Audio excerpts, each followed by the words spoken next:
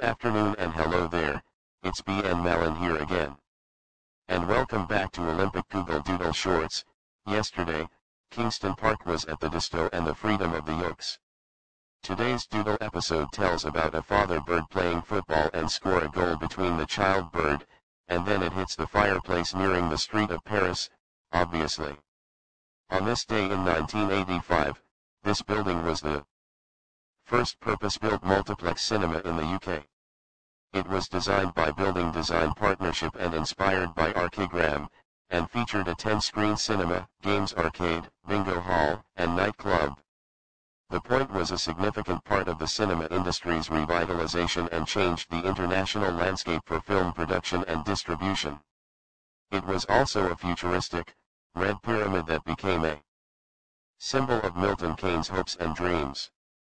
However, the building went into decline after the opening of the Xscape MK Entertainment Complex in 2000. Point Theatre opened in 1988.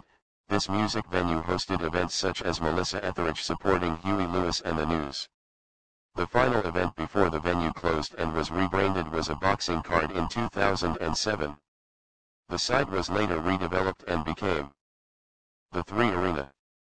Anyways, thanks for watching Olympic Google Doodle Shorts everybody, see you tomorrow for another Doodle episode at 1 p.m., so until then.